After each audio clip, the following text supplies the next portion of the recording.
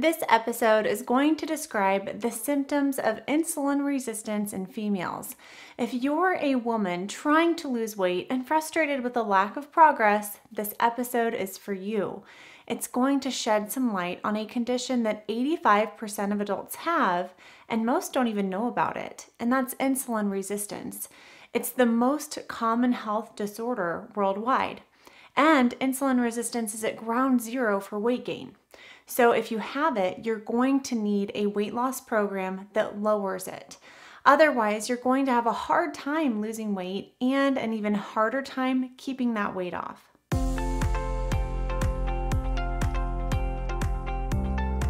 If you're new to this channel, thanks so much for watching. Be sure to hit that subscribe button and the little bell to get notified each week when I post a new video. I'm Dr. Morgan Nolte, geriatric physical therapist and weight loss coach, dedicated to helping you lose weight, keep it off, and prevent disease. If you've followed me for a while, you know that losing weight is not all about eating less and exercising more. Losing weight and getting healthy is about lowering your insulin. It's not about leaving food on your plate or only eating when you're hungry and stopping before you're full. Now, if those principles of intuitive eating work for you and you're seeing the results that you want, more power to you. Don't fix what, what's not broken, right? But this episode is still going to help you because if you do well with intuitive eating, you're going to get even better results when you're intuitive eating foods that keep insulin low. But if you're like so many of my members, intuitive eating isn't enough. It just does not work for you. You've tried all sorts of different diets. You might feel overwhelmed and have a bunch of different diet rules mushing around in your head. You may have an unhealthy relationship with food or your body or weight loss in general. Unfortunately, that's getting pretty common. So, if that's you, let's take a deep breath and realize you're right where you're supposed to be and that failure is just data. Now you know what doesn't work for you and you're one step closer to finding what does. What if you could lose weight in a way that felt simple, doable, and sustainable? What if you could learn how to lose weight in a way that you can live the rest of your life so that when you get to maintenance, nothing would change? The most effective way to lose weight and keep it off is to live a low insulin lifestyle. And this episode is going to bring to life a condition that you need to know about appreciate, and be proactive in preventing or reversing if you already have it. It's what's causing you to gain weight and what's preventing you from losing it. And that condition is insulin resistance. Once you know about insulin resistance, you can reverse engineer your lifestyle one small step at a time to lower it. But awareness is the first step. You can't make a plan for something that you don't even know exists. This episode is going to review the most common signs of insulin resistance in women. And I cannot overemphasize the importance of insulin resistance enough. It's not only at ground zero for weight gain, especially that unhealthy visceral belly fat, but also diseases like type 2 diabetes, dementia, heart disease, osteoporosis, arthritis, and so much more. Most of the women that I work with are postmenopausal, and if that's you, know that the lower estrogen levels after menopause will increase your insulin resistance.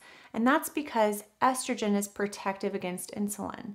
When your estrogen drops, you lose that protection and experience an increase in insulin resistance. Now, that's one of the reasons why postmenopausal women tend to get more belly fat and have a higher risk for diabetes, dementia, and heart disease than before menopause.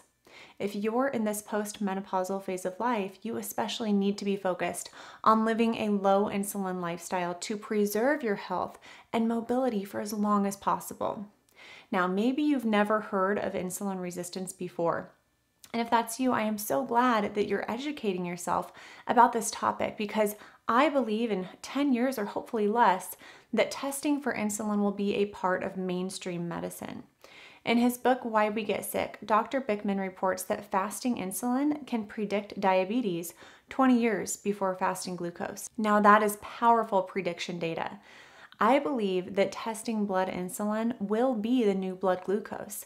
It's that important and powerful of an indicator for your overall health. The sooner you know the signs of insulin resistance, the sooner you can start to make effective changes in your lifestyle to see the weight loss and health results that you need. I believe that your weight loss success is inevitable, and that the better you can care for yourself, the better you can care for others. I don't know how many times you've tried to lose weight in the past, but if you have not tried to live a low insulin lifestyle, you have not tried everything. You are your greatest asset, and investing in your health has the greatest return on investment for you and your family's future. If you're watching on YouTube and you agree with that statement, I want you to type a yes in the comments below. This episode covers eight signs of insulin resistance in women and the most common risk factors of insulin resistance as well. Now, insulin resistance is like rust. It progressively gets worse and harder to treat over time. So, the sooner you take action to reverse it, the better, and it is never too late. Now, to prove it's never too late, I wanted to share a quick story about one of my clients who has type 2 diabetes. And by the way, if you have prediabetes or type 2, you absolutely have insulin resistance. And she came to me wanting to lose weight, increase her energy, and reduce her pain. Now, this client is on both short and fast acting insulin. And in just a couple of months of changing her diet, she's been able to go from needing 10 to 20 units of fast acting insulin per meal to just one to two. Now, that's a 900% improvement in how much fast acting insulin she needs in just a short amount of time, right? Losing weight with prediabetes or type 2 diabetes is only going to be possible when you learn how to lower your insulin because insulin is the primary hormone in charge of your body's set weight. You do not need to have all of these signs to have insulin resistance because even just having one or two can be a pretty strong indicator that you have insulin resistance. What I find very powerful is when you start to lower your insulin resistance, most, if not all, of these symptoms will also improve. The first sign of insulin resistance is excess belly fat, specifically a waistline over 40 inches for men and 35 for women. To measure this, you'll want to get a flexible measuring tape and measure on bare skin. Take a breath in and exhale, but don't suck in your stomach. And then measure the most narrow point between your lower ribs and above your hip bones. Be sure that the tape is flat and not too tight when you take the reading. The next sign of insulin resistance is a blood pressure reading of 130 over 80 or higher.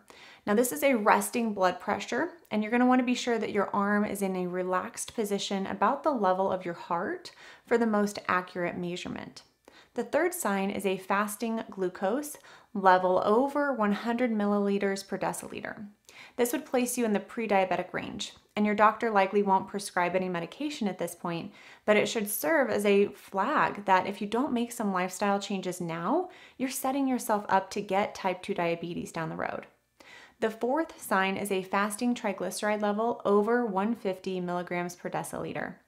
The fifth sign is an HDL cholesterol level under 40 milligrams per deciliter in men and 50 in women. I want you to notice that LDL cholesterol is not on this list. So, if you're concerned about high LDL, especially on a low carb diet, and don't want to take a statin, I want you to check out my episode with Dr. Nadir Ali, where we talk about why LDL goes up on a low carb lifestyle and when we should care. It's one of my most popular episodes, and many people have shared it with their own doctors. Now, the sixth sign of insulin resistance is skin tags, and those are little flaps of skin, and they're usually harmless and painless.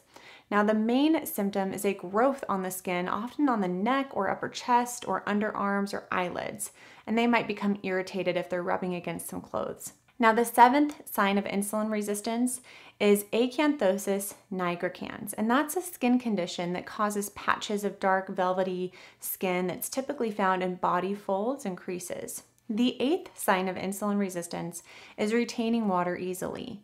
That's because insulin naturally increases aldosterone. And aldosterone is a hormone that causes an increase in salt reabsorption from your kidneys. When your body retains more sodium, it also retains more water. This increase in the amount of water in your blood will raise the blood volume and subsequently raise your blood pressure. That's why high blood pressure is a sign of insulin resistance, because insulin resistance directly contributes to high blood pressure. So, aside from actual physical signs of insulin resistance, you'll want to consider if you have a condition called polycystic ovarian syndrome, along with a family history of heart disease or type 2 diabetes. If you want to take this episode a step further and actually get your blood insulin levels checked, be sure to tune in next week to learn your options for testing insulin resistance and insulin sensitivity. Now, I always want you to take action on these episodes. So, if you do think that you have insulin resistance within the next 24 hours, I want you to download a free masterclass straight from my weight loss program, all about how to lower your insulin resistance and inflammation. It's 55 minutes long, it's super valuable, and you can download that today at weightlossforhealth.com forward slash masterclass. I've received so much positive feedback about this masterclass and it's really been the seed that's helped many members lose weight and reverse these symptoms of insulin resistance. With the masterclass, you're also going to get the transcript if you prefer to read, and a fun sheet that walks you through a checklist of lifestyle changes that you can really start making right away to lower your insulin resistance so that you can lose weight over the long term and reduce these risk factors before they turn into disease. I hope you found today's episode valuable, and if you did, I want to hear from you. You can definitely follow me on Instagram at Dr. Morgan Nolte and send me a message letting me know your biggest takeaway. I'll talk with you at the same time, same place next week. Bye for now.